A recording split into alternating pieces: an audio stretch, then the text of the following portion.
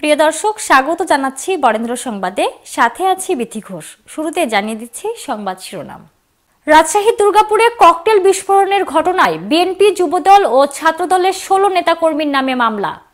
এবার আনন্দ শোভাযাত্রা করেছে রাজশাহী বিশ্ববিদ্যালয়ের ব্রাজিল ফ্যান ক্লাবের সদস্যরা।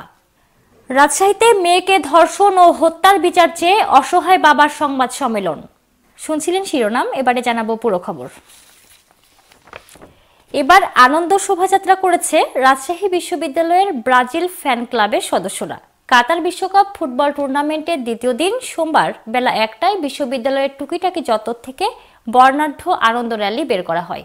এ সময় দলটির সমর্থকরা বাংলাদেশের ও ব্রাজিলের পতাকা, ব্যানার, ফেস্টুন বাসি এবং ঢাকঢোল বাজিয়ে প্রিয় দল ও খেলোয়াড় নেইমারের স্লোগানে মুখরিত করে প্রিয় ক্যাম্পাস।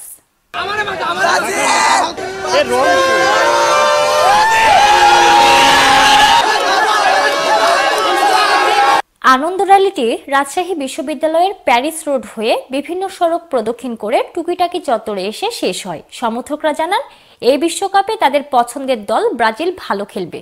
প্রিয় ফুটবল তারকা নেইমারও অনেক ভালো খেলবে ও বিশ্বকাপ জয় করে সমর্থকদের প্রত্যাশা পূরণ করবে। প্রিয় দলের র্যালিতে যোগ দিয়ে সকলেই আনন্দ উল্লাস করে। এ সময় রাজশাহী বিশ্ববিদ্যালয় ব্রাজিল ফ্যান্স ক্লাবের নতুন সভাপতি মেহেদি হাসান মিশু ও সাধারণ সম্পাদক মিজানুর রহমান তাসিফ সহ শতাধিক সমর্থকরা উপস্থিত ছিলেন।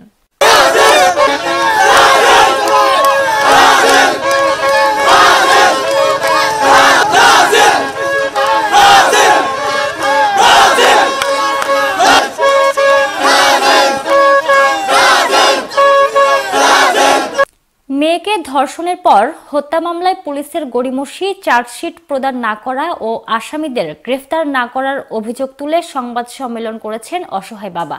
সোমবার বেলা সাড়ে এগারোটার দিকে রাজশাহী সাংবাদিক ইউনিয়ন কার্যালয়ে সংবাদ সম্মেলন করেন মহানগরীর কাশিয়াডাঙ্গা থানার বালিয়া পশ্চিম আদর্শ গ্রামের শামীম হোসেন। তিনি অভিযোগ করেন, গত নয় জুলাই দুপুরে স্ত্রীকে নিয়ে বড় মেয়ে সামিরা সহ ছোট দুই ছেলেকে রেখে শ্বশুরবাড়ি যান। বিকেলে বাড়িতে এসে দেখতে পান, সামিরা ঘরের চালের বাঁশের সাথে রশিতে গলায় ফাঁস দিয়ে ঝুলে আছে। পরে কাশিয়াডাঙ্গা থানা পুলিশকে খবর দিলে লাশ উদ্ধার করে ময়নাতদন্তের জন্য মর্গে পাঠায়। ঘটনার দিন একই এলাকার সানাউল্লাহ ছেলে শামীমকে ফোন করলে তার আচরণ সন্দেহজনক মনে হয়। পরে তিনি বাদী হয়ে গত তেইশ জুলাই শামীম, রকি, টিয়া আলম গোলাপ ও বাবুকে আসামি করে মামলা দায়ের করেন। এরপর থেকে পুলিশ কোনো ব্যবস্থা নেননি বলে তিনি অভিযোগ করেন। এদিকে এক আসামি হাইকোর্ট থেকে জামিনে এসে ভয়ভীতি ও মামলা তুলে নেওয়ার হুমকি প্রদান করছেন। এ সময় তিনি পরিবারের নিরাপত্তা ও আসামিদের দ্রুত গ্রেফতারে প্রশাসনের সহযোগিতা চেয়েছেন।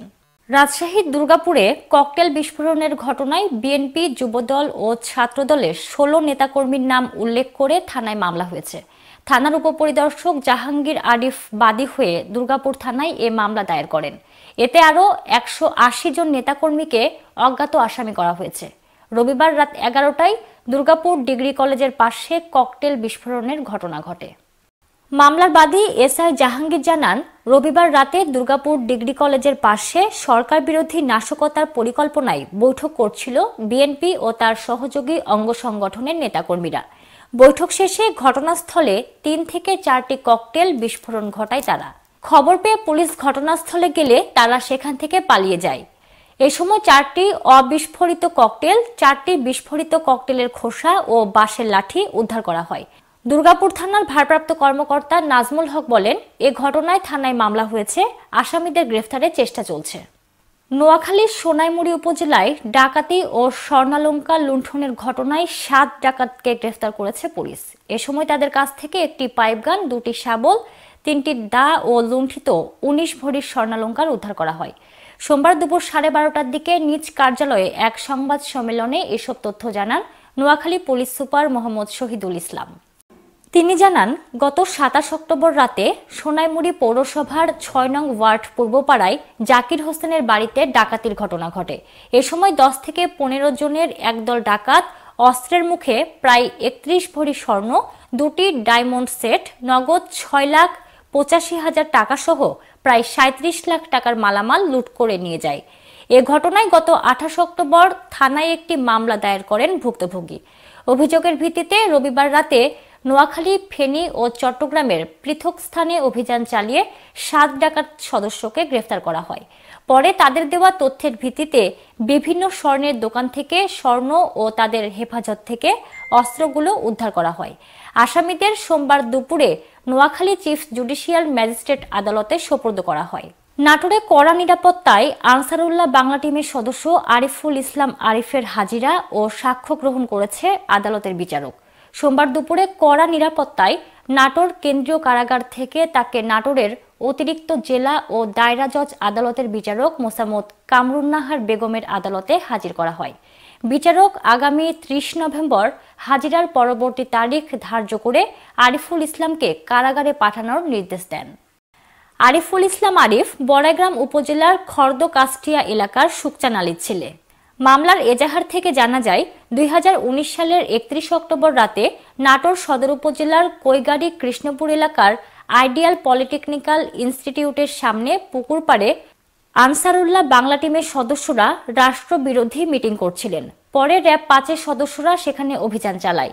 এ সময় অন্যরা পালিয়ে গেলেও আরিফুল ইসলাম আরিফকে একটি কাপড়ের ব্যাগসহ গ্রেফতার করা হয়। পরে তাকে তল্লাশি করে তার কাছ থেকে পিস্তল, ম্যাগজিন, গুলি ও উগ্রবাদী বই উদ্ধার করা হয়। ঘটনার পরদিন নাটোর সদর থানায় সন্ত্রাস বিরোধী আইনে আরিফুল ইসলাম আরিফ সহ অজ্ঞাতনামা ছয় থেকে সাতজনকে আসামি করে একটি মামলা রুজু করে র্যাব।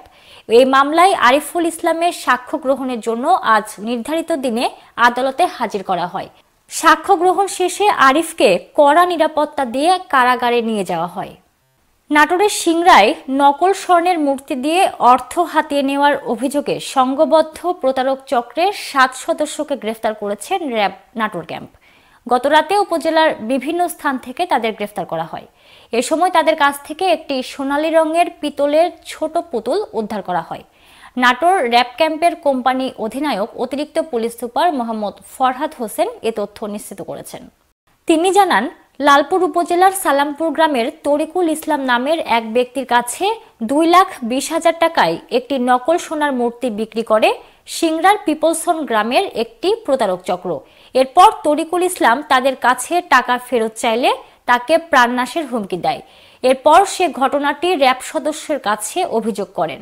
অভিযোগের প্রেক্ষিতে নাটোর জেলার সিংড়া থানাধীন পিপলসন দড়িপাড়া এলাকায় অভিযান পরিচালনা করে প্রতারক চক্রের সাতজন সদস্যকে গ্রেফতার করে। এ সময় প্রতারক চক্রের আরও চারজন সদস্য কৌশলে পালিয়ে যায়।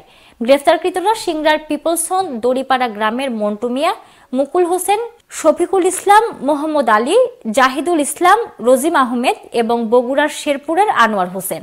গ্রেফতারকৃতদের বিরুদ্ধে সিংড়া থানায় প্রতারণা মামলা দায়ের করে সোপর্দ করা হয়েছে। এ ছিল বরেন্দ্র সংবাদে, সাথে থাকার জন্য ধন্যবাদ।